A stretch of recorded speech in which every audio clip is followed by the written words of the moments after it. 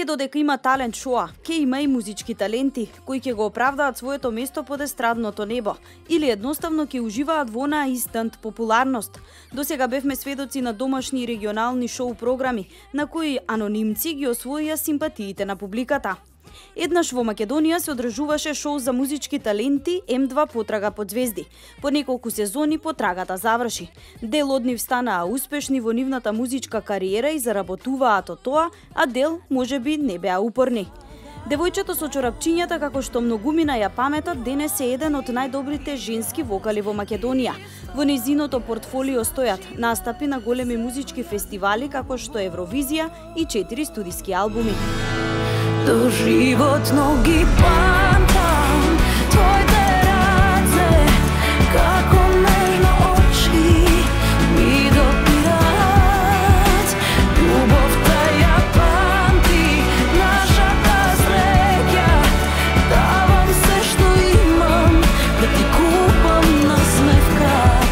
Згодната блондинка со карактеристичен вокал која го негува R&B и хип-хоп музичкиот стил Туна Сейдију почетоците ги имаше токму на М2 талент шоуто, а денес е сериозна конкуренција на светските музички диви и со стас и со глас. Let the om don't go du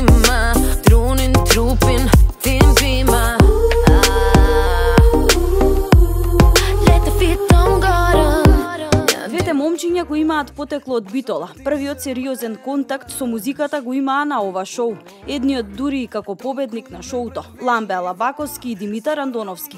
Денес освен што пливаат во брачните води, се уште пливаат и во музичките. И само тоа го можеш ти Денес и една, утре друга Па те мразам, па те љубам Само тоа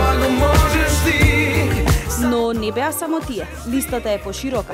Магдалена Цветковска, денес освен како изведувач, работи и како композитор. Нина Јанева, Сања Левкова и Бојана Атанасовска. ти Што ми ја украде душата ти Што ми ја зароби младоста Уште едно талент шоу на нашата територија беше интересно за јавноста. Мак Звезди, на кое фановите лудуваа по своите идоли. За среќа овие две момчиња, Владко Лозановски и Дарко Илиевски, и се добро познати на јавноста.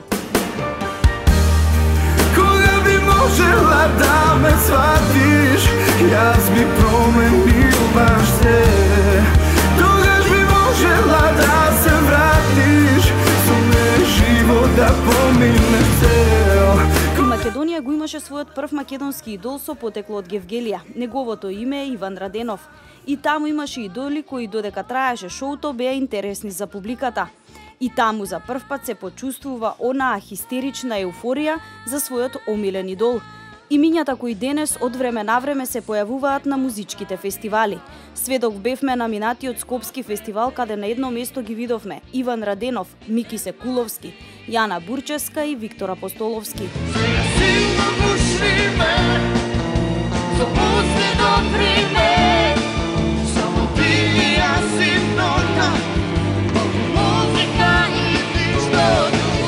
Некои македонски таленти среќата ја побараа на шоуа надвор од нашите граници. Така е примерот со бугарскиот идол и учеството на Дарко Илиевски. Близко до мене Срцето твое е знам И ако далеку од мене Бојан Стојков и Александар Тарабунов. Јас сум Александар Тарабунов, доаѓам од Македонија, од Скопје. И се пријавив на Music Idol зашто мислам дека е најубав начин некако да се испромовира на пример некој квалитетен пеач. I want to break free. I want to break free.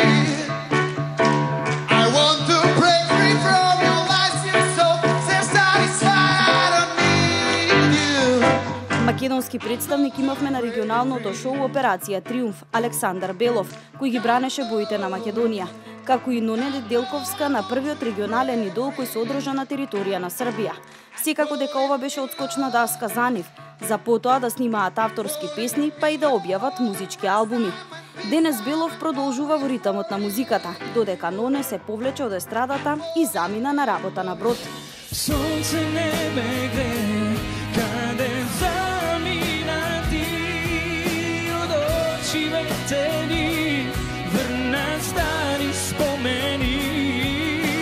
По победата на Даниел Кајмаковски, но исклучително талентираните Боби Мојсовски и Давид Темелков. Не можеа да не го споменеме и шоуто за таленти Звездите на Грант, на кои се појавија нови музички имиња како Ален Хасановиќ, Филип Божиновски и Ристе Ристевски. Зајди, заиди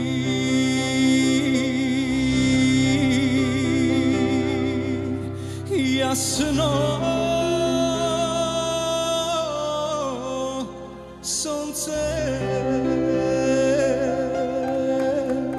Но не беа само музичките шоа, тука беше и куќата на големиот брат, шоу во кое македонец ја освои првата награда, Дарко Спејко. Но во статистика стои дека свое учество имале Никола Настевски Лестер, кој може да се пофали со победа на исто ова шоу Ново Бугарија. И да не го заборавиме, учеството на Боки 13 во истоименото шоу.